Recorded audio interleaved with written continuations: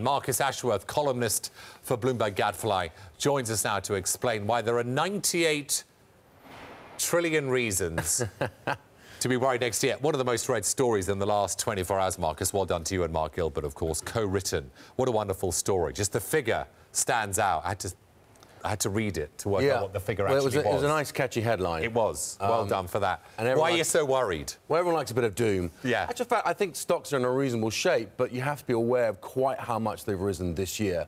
And that's what sort of is scary when you appreciate how the effect of QE is still working in the system. And that's something we've got to be very conscious of, as ECB is still pumping money in. Not quite at the same pace, but they are still pumping money in. So many good charts here, 12 in total. This is another one, uh, a drop in price swings.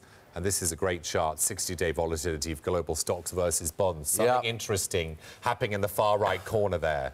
Yes, it's crossing over in the sense that bond volatility and, and equity volatility are normally quite separate things, but they are showing a, a great convergence at very incredibly low levels, and that is a worry because when and if we do get a shakeout, it's going to be all the more violent for it. Yeah, I mean, there's so many great things to talk about. I love the, I love the Da Vinci. Most people go, oh, talk about the yield curve. Oh, no, no, no, no, no. When you first heard that story, what was it, 450.3 million for Yes. Salvator Mundi? What was your first thought, or second thought, or third thought? I mean, I think they're all the same thought. I was Yeah. like, oh my lord, how much?